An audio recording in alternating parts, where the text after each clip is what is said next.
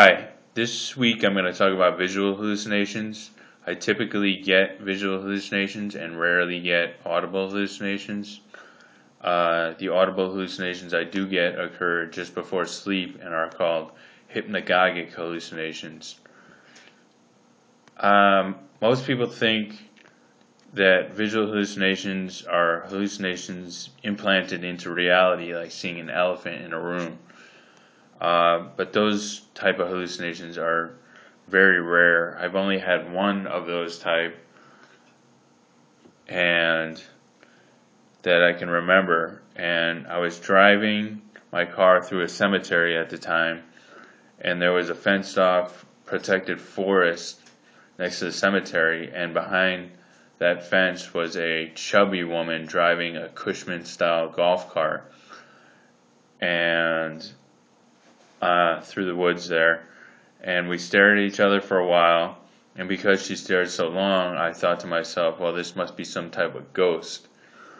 And um, I drove off, and then I changed my mind. I, I backed up and I looked behind the fence, and all I could see was the wheel of the go- golf cart spinning.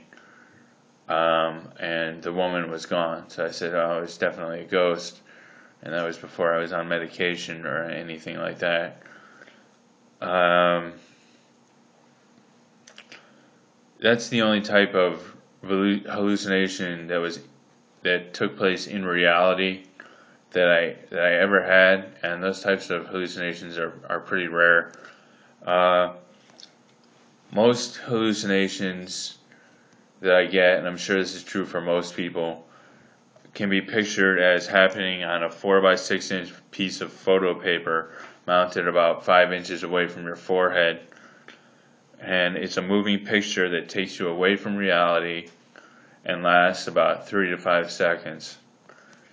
A typical hallucination for me would be a man in a jail cell or a little girl playing, and I get delusional about the hallucinations that I saw and I think I, I helped arrest that man or this my friend from nursery school is trying to contact me over the internet.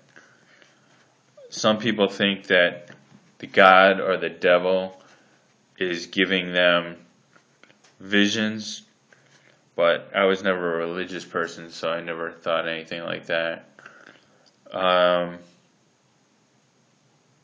since taking medication my visual hallucinations have still occur, but I don't get delusional about them anymore.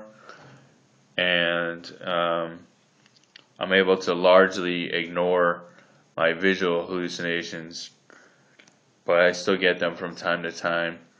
But um, I can, I'm pretty lucky, I can function pretty well and, and still get very few visual hallucinations and just the auditory hallucinations before I get go to sleep sometimes. Um, I hope this week's blog has cleared up some misconceptions about visual hallucinations. And next week, I'm going to talk about recovery. Thanks.